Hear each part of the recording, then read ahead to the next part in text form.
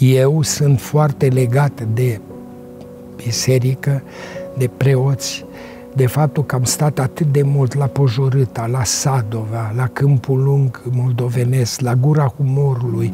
Mă duceam de Crăciun și de Sfintele Paști, mă duceam la Cașvana. Cașvana e lângă Suceava, unde unchiul meu, uh, Orest Malcinski, era paroh și a fost peste 40 de ani paroh în Cașvana.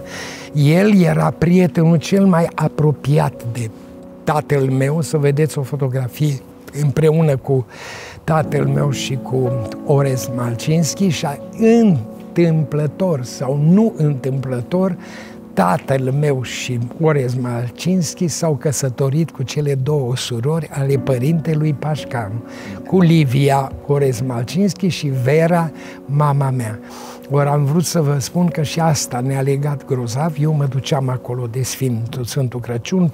Primul lucru care îl făceam, vorbeam cu pălimarul și spuneam viu să bat toaca. Eu mă rog la Sfântul, la, la Maica Domnului, o ador pentru tot ce am citit, cum este la Sfânta Paraschiva, pentru că am fost foarte bolnav și mama mea o noapte întreagă cu icoana pe care o am.